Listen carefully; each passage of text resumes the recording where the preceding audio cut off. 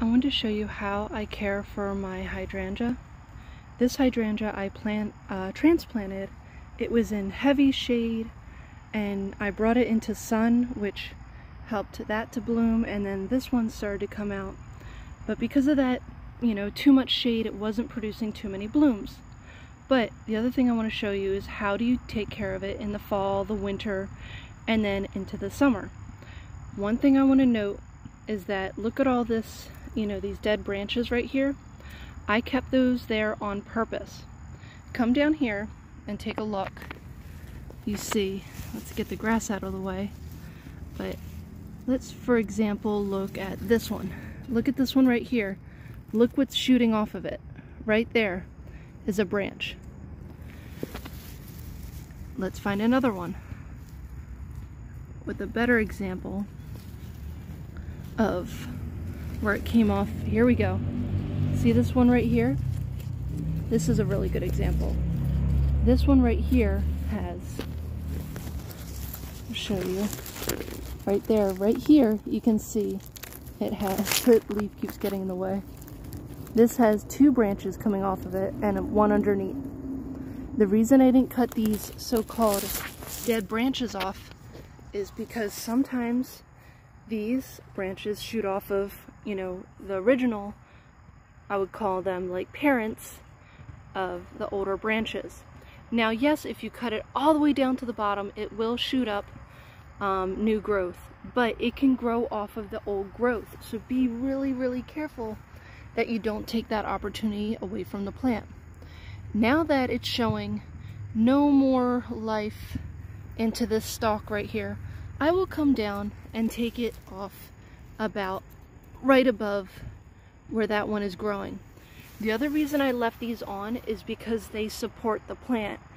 Instead of going out to your local where, you know, uh, handy store, uh, you know, supply store and buying all these fancy gadgets for your plants to keep them up and hold them together, let the plant do it naturally. And this is how it does it naturally. This is what's holding everything up.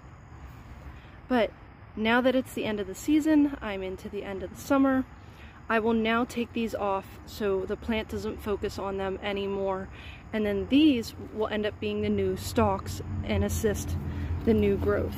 If you look down here, just give you another look. One thing I always do with my hydrangeas, they like a little bit of acidic soil. I love giving them, it's a little hard to see, but there's coffee grounds all over here. I take my old coffee every morning and I dump it into my garden. I can talk forever about hydrangeas, but this is just a minutia. Uh, definitely uh, follow, like, um, and comment below.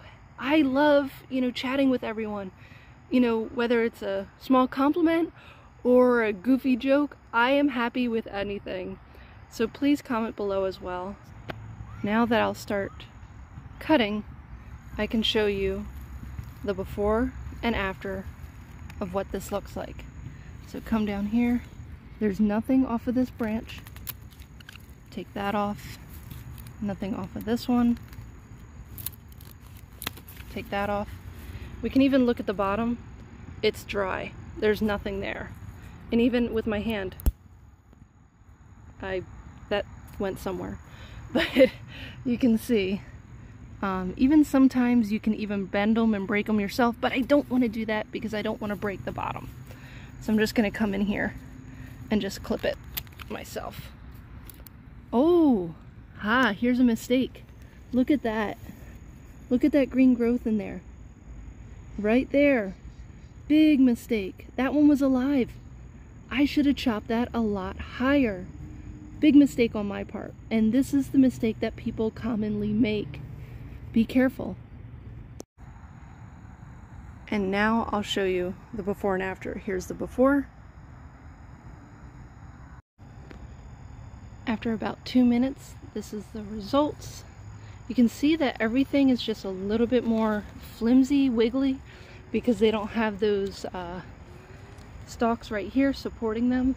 But at this point, the plant is pretty strong. It can handle some winds, some rains. I'm not too worried. But I'm not going to touch this until I see growth next year. Hint, hint. Don't mess with the hydrangea until, until you start seeing green.